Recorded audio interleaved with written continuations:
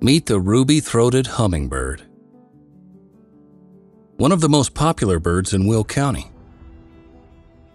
This bird is one of the smallest birds, ranging anywhere from 3 to 3.5 inches in length. They also weigh less than a nickel and have a wingspan of 3 to 4 inches. Ruby-throated hummingbirds have an emerald color on their back and crown and gray and white underneath. Males have a brilliant red throat.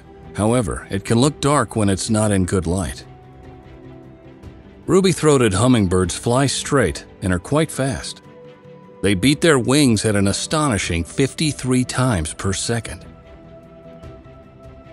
They have the ability to stop instantly, hover, and adjust their position up, down, or backwards with a level of precision. They frequently visit hummingbird feeders and tube-shaped flowers.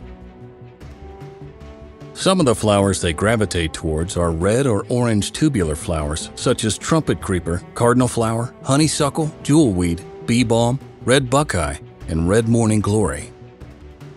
These birds will also pluck insects out of the air or pluck at spider webs. Some of the insects they prey on include mosquitoes, gnats, fruit flies, and small bees. They will also eat spiders.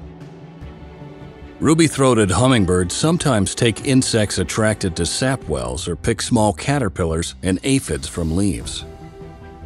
They live in open woodlands, forest edges, meadows, grasslands, and in parks, gardens, and backyards. They are the only breeding hummingbird in the eastern part of North America and has the largest breeding range of any hummingbird. If you hear this call,